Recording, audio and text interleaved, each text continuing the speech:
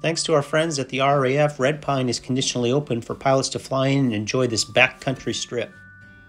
So, where is Red Pine? It shows up as a closed airfield, 282 degrees off of Presque Isle, about 72 miles. The closest airfield is going to be the Clayton Lake, which is a private strip.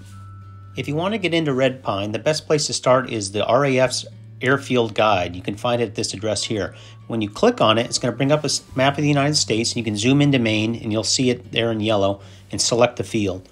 Once you select it, the first thing that's going to happen is a disclaimer is going to pop up that you need to acknowledge.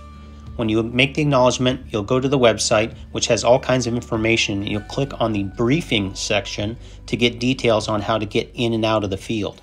The briefing guide is very thorough and gives you all kinds of information about the closest weather station, closest airports, what frequency to use when operating in and out of the field.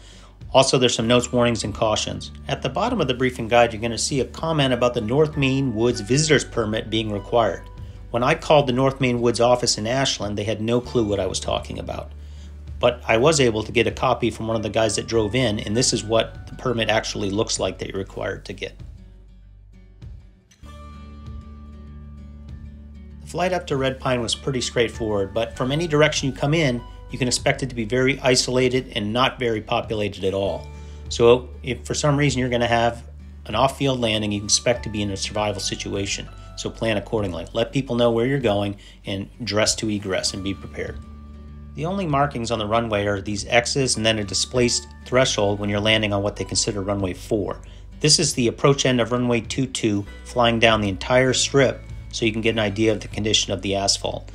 As you proceed down here to the south on 22, you're going to see a left hand turnoff, which I'll cover in more detail. But that left hand turnoff is actually where the RAF expects you to go and not necessarily where we went when we went in. So sorry about that. Do as we say, not as we do.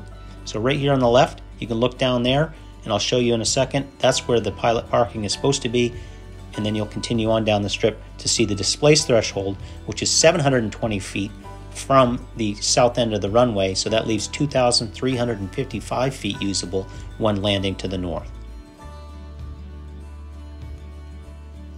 This is where we parked when we came in. The campgrounds will be here on the right. That little path off to the left connects up to that other section that I mentioned.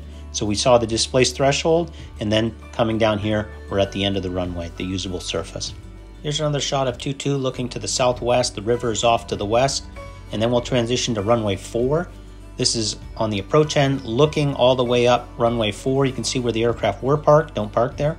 Here's the displaced threshold that you'll see 720 feet down the runway on runway 4. And this here is the sign that marks that inter- intersection adjacent to the windsock. So the X is there, the sign's there, the windsock's to the right of that X, and that's the parking area the RAF actually wants you to be. So this is looking towards the west, towards the river. And here we'll make a turn looking down runway 22, making a left hand turn into the parking area. The sign's right there ahead.